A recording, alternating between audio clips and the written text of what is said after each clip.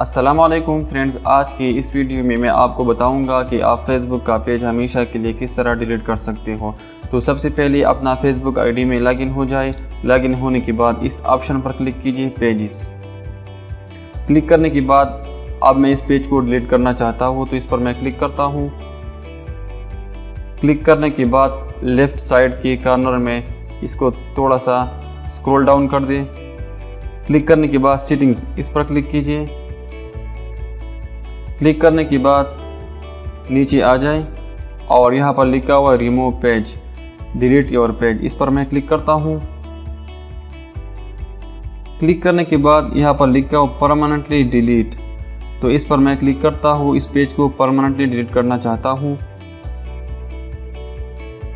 Click करने के बाद यहाँ पर लिखा हुआ है are you sure want to delete this page yes to delete पर मैं क्लिक करता हूँ। पेज डिलीटेड तो आप इसी तरह फेसबुक का पेज हमेशा के लिए डिलीट कर सकते हो।